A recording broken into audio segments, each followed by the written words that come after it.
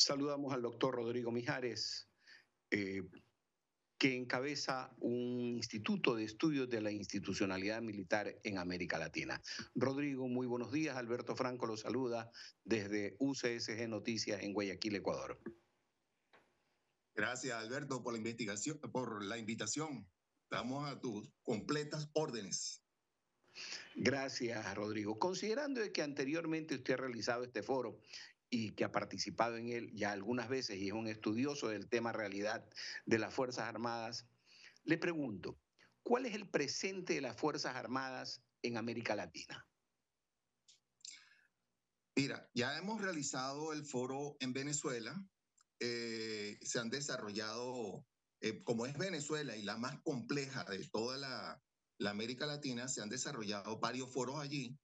Eh, luego vino la de Colombia, y lo que hemos observado es que eh, en los sistemas políticos en América Latina están, se, han, se eh, han cambiado muchísimo y las Fuerzas Armadas eh, están luchando por mantener la institución. Y ese, e, ese e, es el, el estudio que estamos desarrollando y para responder esa pregunta, hemos invitado a, a personalidades tanto civiles como militares para que hablemos sobre este tema. No solamente del presente, sino del pasado, porque del pasado podemos eh, visualizar por qué estamos en este presente y qué, y qué se puede eh, visualizar en el futuro. Pero realmente sí, la Fuerza Armada como institución está sometida en estos momentos a una, una gran tensión, porque el sistema político eh, lo, lo ha traído hasta ese, ese estira y, es, y, y, eh, que, que, se está generando en América Latina en estos momentos. Rodrigo, la guerra ruso-ucraniana reactualiza la condición de defensores de fronteras de las Fuerzas Armadas si dentro del proceso de evolución precisamente se quería era incluirlas en el desarrollo social de las poblaciones y dejar un poco ese papel de pared de contención? Mira, eh, Alberto, la Fuerza Armada en casi todas las constituciones de América Latina, si no en todas, tiene su papel bien dibujado. Uno de, las más importantes es la soberanía. Y cuando hablamos de la soberanía, es luchar contra todos los flagelos de la, de la corrupción, del narcotráfico, de bandas armadas que ahora están muy organizadas en toda América Latina, empezando con las de México, con las de Venezuela, las de Colombia. Ese papel es fundamental. La parte social ya es un problema, porque la desliga realmente de su papel primordial. Te lo digo por Venezuela, que em, en un momento dado eh, las Fuerzas Armadas las llevaron a, vender fruta, a estar en los supermercados, etcétera, y darle papel eh, en, en otros ministerios lo que trajo fue una gran corrupción dentro de las Fuerzas Armadas y desdibujó su papel. Yo creo que eh, eso es lo que nosotros estamos tratando de, de, de ver y de conocer qué es lo que está pasando en América Latina sobre ese papel. Pero el papel fundamental de las Fuerzas Armadas es preservar la soberanía. Siendo así que el papel principal es de preservar la, ciudad, la soberanía, ¿de qué manera deberían actuar entonces las Fuerzas Armadas cuando ocurren casos como el de Venezuela, Cuba, eh, Nicaragua, algunos otros países del mundo, en donde se incluye a las Fuerzas Armadas en estos programas de ideologización de la población del país, quitándole su rol de defensores de la soberanía para ser más bien custodios de una ideología política? Excelente pregunta, Excelente pregunta, Albert. Eh, la pregunta es bastante compleja y por tal motivo es que se está invitando a todos los países de América Latina a expresar cómo las Fuerzas Armadas puede eh, de alguna manera luchar contra esas ideologías. Y para eso eh, esta es la investigación que estamos realizando actualmente. Y esa investigación tiene que ver sistema político, institucionalidad militar.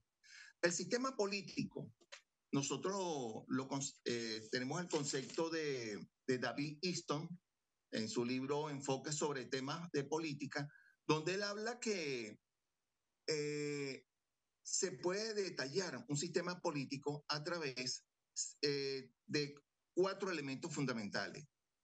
Si van de la democracia hacia el autoritarismo. Ahí hay varios, varios, varios tenores, igual que Estado regulador, no regulador, ideologías abiertas, ideologías cerradas, y respeto a la constitución o no respeto a la constitución. Allí tú puedes dibujar ese sistema político. Y ese sistema político, aguas abajo, por supuesto, tenemos que ver cómo la institución militar lucha para preservar sus valores, como te estoy diciendo, eh, como te expresé anteriormente, que es la soberanía, la, la, la, la institución armada supeditada al al, presidente constitucional y especialmente a la constitución de la República.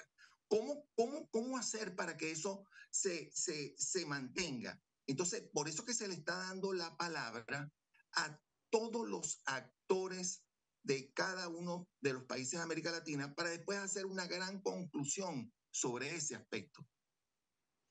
Sumamente interesante. Entonces, en este foro eh, se han trazado algunos objetivos para discutir dentro del proceso del encuentro. ¿Cuáles son los objetivos? Mira, la pregunta clave de todo esto es cómo la institución armada ha variado su desempeño, y su desempeño lo estamos hablando en la calidad y la cobertura de lo que ha hecho en, en cuanto a la soberanía, se puede esperar en el futuro, en ese constante cambio en los sistemas políticos de América Latina? Ese, esa es la, la, la, la, gran pregunta y el objetivo que nosotros nos estamos trazando. ¿Cómo esas Fuerzas Armadas se han podido, eh, eh, han tenido que realizar para cumplir con su misión importante en, que le establece la Constitución Nacional? Y, cuando, y otra cosa que particularmente como venezolano es cómo se preserva una Fuerzas Armadas democrática en un país, en, en, en nuestros países, donde los sistemas políticos pueden cambiar en una elección. Podemos eh, estar en un sistema político de derecha como llegar a un momento que es de izquierda con una ideología muy definida, que quieren imponer una ideología. Entonces, ¿cómo las Fuerzas Armadas pueden manejar esa situación? Y eso nos va a dar a nosotros un, una riqueza de conocimiento. Por otra parte, te quiero decir que nosotros en un futuro, yo tengo la esperanza que venga la democracia en Venezuela y podamos nosotros reconstruir esas Fuerzas Armadas que actualmente tenemos, que prácticamente está desaparecida. Y con lo que nosotros podamos eh, escuchar, conocer todas estas experiencias tan ricas, tan, tan detallada que, que estamos escuchando en todos estos foros por todos los países de América Latina, nos va a dar una línea, un norte de cómo se va a dar esa, esa, esa institución armada en un futuro en Venezuela que sea totalmente democrático. Para culminar, eh, Rodrigo, el foro pasado, presente y futuro de las Fuerzas Armadas en América Latina, realizado ya anteriormente, ha permitido eh, crear una investigación. ¿Cuáles son las conclusiones de esa investigación? Como estás, mm, como estás enterado, solamente lo hemos desarrollado en Venezuela y en Colombia. Para el 11 de noviembre tenemos, para, tenemos la intervención con Ecuador, a las 4 de la tarde. Tenemos cuatro invitados de, de Ecuador. Y por supuesto, solamente se ha dado en Venezuela y Colombia, pero ya nosotros estamos observando que eh, las Fuerzas Armadas lo que desea es tener eh, claro y que le dejen cumplir su función como garante de la soberanía nacional.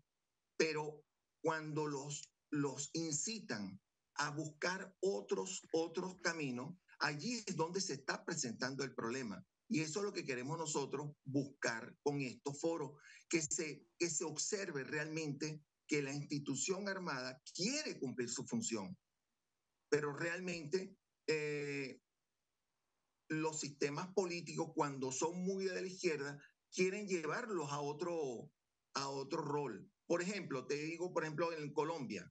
En Colombia, eh, las Fuerzas Armadas quieren preservar su territorio y luchar contra la, eh, contra la, la, producción de cocaína y de marihuana en su país. Pero este, el nuevo gobierno dice que ahora no puede utilizar la aviación porque si en, en el donde van a accionar hay un niño, entonces el responsable es el piloto de la, de la aviación. Por supuesto que eh, comprenderás en todo lo, los, eh, lo, donde se está sembrando la cocaína, donde está sembrando la marihuana y todo esto, eh, hay un niño. Entonces, ¿cómo hacer? Ya, y, y, está en el, dejando sin el arma más importante a las Fuerzas Armadas de Colombia para combatir el narcotráfico. Entonces es un problema complejo de, de derechos humanos, etcétera, pero eh, esas son las experiencias que nosotros estamos viviendo y estamos escuchando en todos nuestros países. Y bueno, la experiencia de Venezuela tú la debes conocer muy bien, donde en, en, en diferentes partes hay el, eh, organizaciones eh, prácticamente militares con buen armamento en todo el territorio venezolano, donde las Fuerzas Armadas no se hace presente. Y eso es pérdida de la soberanía.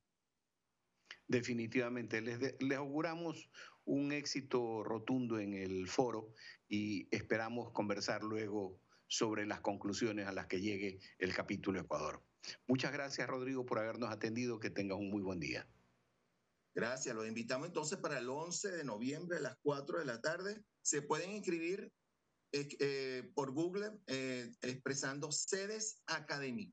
Sedes Academy y se inscriben para entonces eh, participar en nuestro foro del 11 de noviembre, 4 p.m. hora Ecuador. Muchas gracias, Alberto. Gracias a usted, Rodrigo, nuevamente. Que tenga un muy buen día. Estuvo con nosotros el profesor Rodrigo Mijares, quien encabeza sedes y que van a tratar un, van a realizar un foro sobre el presente y futuro de las Fuerzas Armadas en América Latina, capítulo Ecuador.